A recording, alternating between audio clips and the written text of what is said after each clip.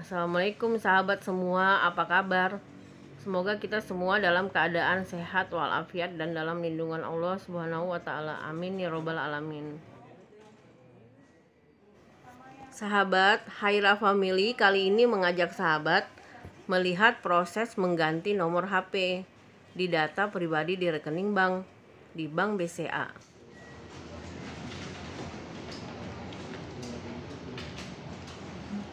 Ternyata nomor HP yang kita beli di counter HP tidak semuanya nomor baru. Ada juga nomor telepon bekas pakai yang dijual kembali oleh operatornya. Ketika nomor itu kita beli, kita tidak bisa mengidentifikasi atau mengenalinya. Apakah itu nomor baru atau bekas pakai?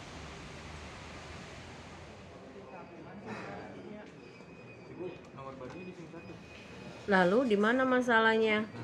Tonton videonya sampai tuntas ya, agar sahabat kelak tidak merepotkan orang lain ketika tidak menggunakan lagi nomor HP yang biasa digunakan.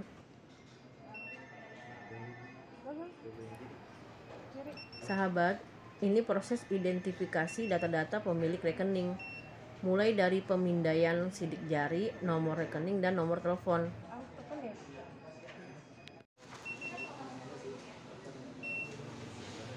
Sebelum videonya lanjut, jangan lupa ya subscribe, like, share, dan komen.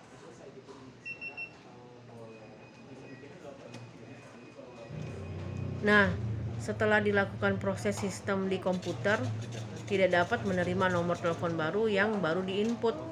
Tiga kali dicoba, tiga kali juga gagal atau ditolak.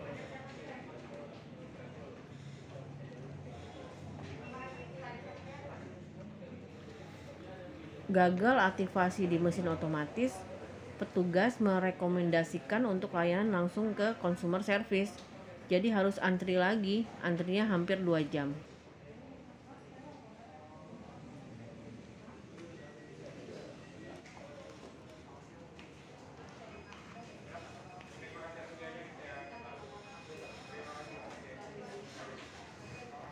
Nah, ini di meja customer service. Setelah dilakukan pelacakan melalui sistem yang ada, ternyata nomor HP keluaran IM3 ini sudah digunakan nasabah lain sebelumnya. Nomor HP ini oleh nasabah tersebut belum dicabut dari data rekeningnya di BCA. Meskipun nasabah itu tidak menggunakan lagi nomor HP tersebut.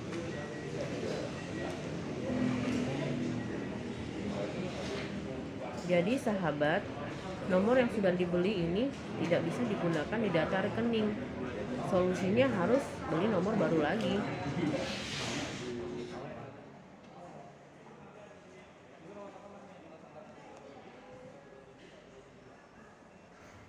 Sahabat, sekarang hari kedua antri di BCA. Kemarin tidak bisa dituntaskan karena terbentur waktu dan harus beli lagi nomor baru. Ini nomor awal dari 0812 sudah aktivasi untuk penggunaan di HP.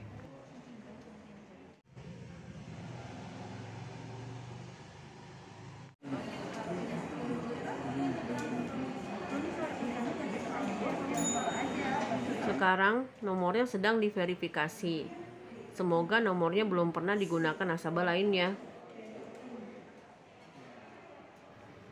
Alhamdulillah, Penggantian nomor HP di rekening bank akhirnya tuntas juga. Sahabat, bila nomor HP kita tidak digunakan lagi di data di rekening kita, sebaiknya nomor tersebut dicabut atau dikelirkan di bank. Dengan begitu, nomor HP tersebut jadi clear dan tidak akan menyusahkan orang lain di kemudian hari. Sampai di sini video kali ini. Semoga bermanfaat ya. Insya Allah kita akan bertemu di video lainnya. Wassalamualaikum warahmatullahi wabarakatuh.